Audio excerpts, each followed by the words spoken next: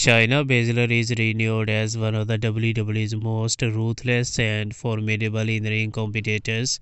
Her dedication and relentless effort have undeniably yielded rewards, as she proudly unveiled her latest, latest stunning new vehicle.